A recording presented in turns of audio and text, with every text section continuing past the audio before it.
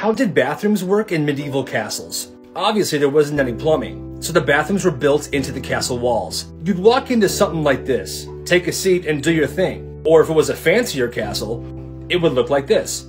These are the bathrooms.